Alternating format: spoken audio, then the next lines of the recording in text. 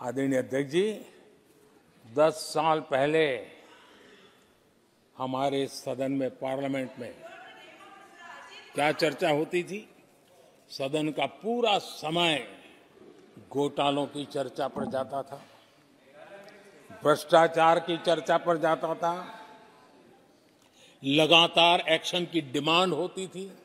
सदन यही मांग करता रहता था, एक्शन लो एक्शन लो एक्शन लो। वो कालखंड देश ने देखा है। चारों तरफ़ भ्रष्टाचार की खबरें, रोज मेरा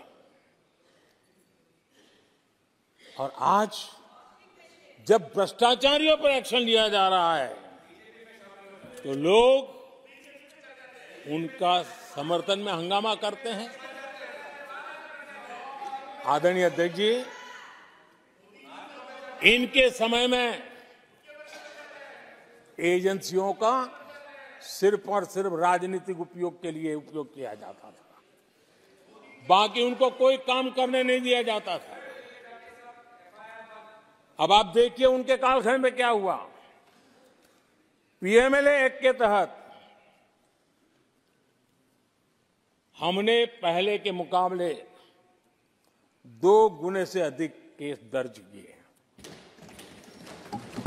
कांग्रेस के समय में ईडी ने पाँच हज़ार करोड़ रुपए की संपत्ति जब्त की।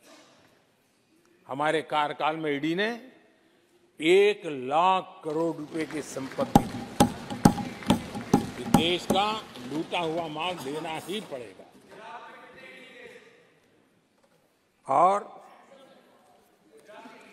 जिनका इतना सारा माल पकड़ा जाता हो, नोटों के ढेर पकड़े जाते हो, और अधीर बाबू तो बंगाल से आते हैं, देखे हैं नोटों के, ढेर उन्होंने तो।